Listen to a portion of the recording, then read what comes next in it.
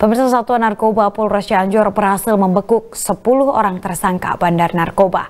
Dari tangan tersangka, polisi berhasil mengamankan barang bukti 138,16 gram sabu-sabu, 112,24 gram ganja, serta 53 ribu buktir heksimer dan 950 butir tramadol.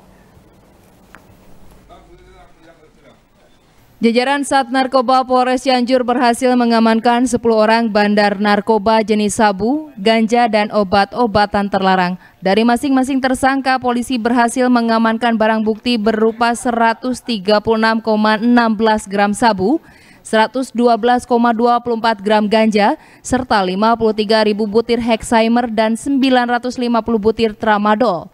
Menurut keterangan Kapolres Cianjur AKBP Juang Andi Prianto, dari pengakuan tersangka, rata-rata mereka mengaku sudah satu hingga tiga bulan beroperasi menjual barang haram tersebut.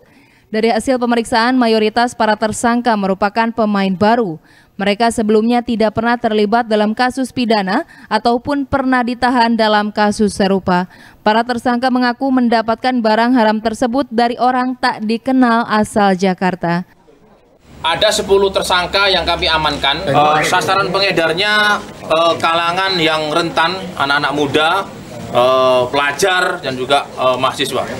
Untuk para pengedar kami kenakan pasal 114 ayat 2 dan pasal 112 ayat 2. Akibat perbuatannya, para tersangka harus mempertanggungjawabkan perbuatannya dengan dijerat pasal 114 ayat 2 dan 112 ayat 2 ancaman hukuman penjara minimal 6 tahun dan maksimal 15 tahun penjara. Heri Setiawan, Bandung TV.